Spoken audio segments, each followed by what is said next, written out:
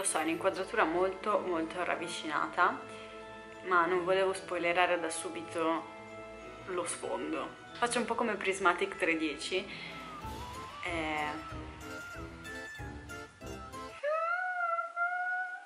Quest'anno mi sono veramente impegnata per le decorazioni casalinghe e infatti vi volevo portare con me in questo mini vlog, diciamo così, un mini tour del mio salotto in cui ho allestito un po' di cose a tema Halloween, però de decisamente questo angolo è quello in cui ho messo più impegno e sono fierissima. Vediamo un po' che cosa ho combinato. È tutto iniziato qualche giorno fa, quando mi sono recata da Tiger, per scovare qualche addobbo. Qui mi vedete mettere le mani su qualunque oggetto all'interno di Tiger.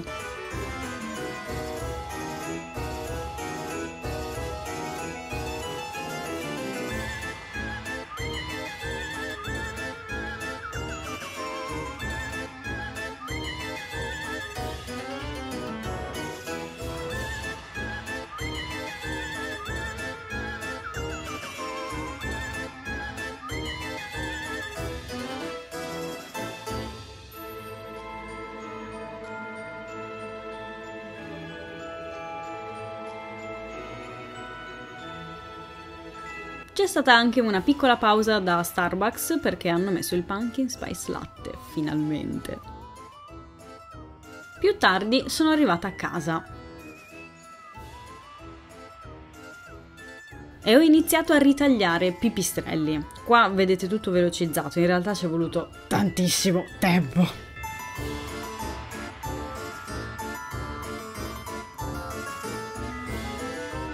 Poi ho tirato fuori le mie vecchie decorazioni di Halloween. Qui c'è un pipistrello, eh, poi queste corna rotte, una scritta trick or treat, altri pipistrelli, mi piacciono i pipistrelli, non so se si è capito. Ah, qui c'è la, la famosa scritta Boo, che abbiamo ormai da tanti anni, che ci accompagna. Un altro pipistrello. dei fantasmini molto carini e un altro cerchietto strambo. Oh, e queste sono le boccette di veleno che sono state le protagoniste di un vecchio video sempre a tema Halloween.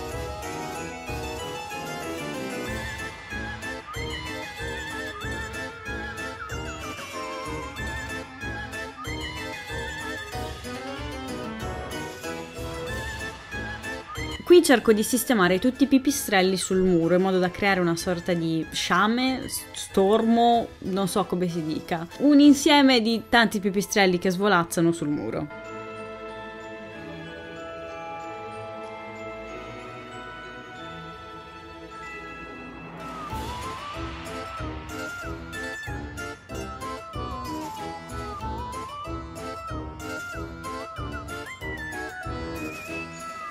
Eccomi qui con le ragnatele finte, con ragni annessi.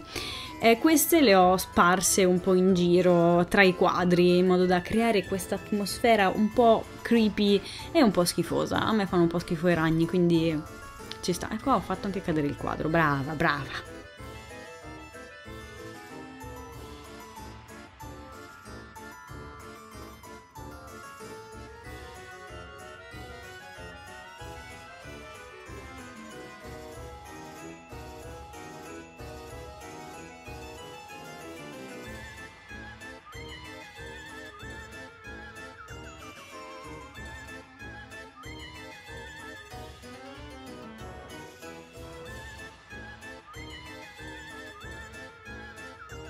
Una volta sistemate tutte le decorazioni è venuto il momento della mia parte preferita, le lucine.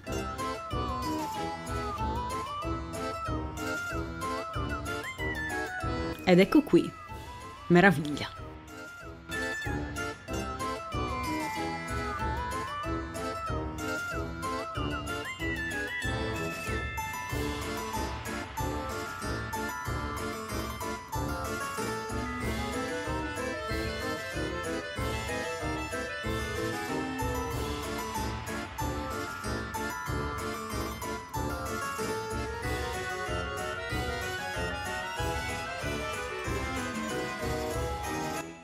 Appena si entra davanti alla porta di casa c'è lui, il piccolo pipistrello che avete visto altre volte in realtà. Ha gli occhietti rossi ma non si vedono. Tra l'altro penso ci sia un rimbombo, ma scusate, scusate. Qui di lato c'è la famosa pozione, non una pozione, anzi un veleno che abbiamo fatto qualche anno fa. Nel caso vi lascio qui in alto il, il video. Qui ci sono i piatti sporchi che non faremo vedere. Ho messo qua sopra la scritta trick or treat perché, perché no? Qua c'è un'altra porta in cui ho invece attaccato questa ghirlanda fantastica che ho preso da Tiger con le zucche. È carinissima. Guardate che meraviglia! Qui ho attaccato dei pipistrelli che rimangono penzolanti e poi qui ho messo Boo e un altro pezzo delle pozioni. Poi qui c'è un teschio e anche Ade che se vogliamo fa anche lui un po', un po' Halloween perché è un po' cattivo. E poi veniamo a lei, la mia creazione più bella, l'angolo divano con anche Matilda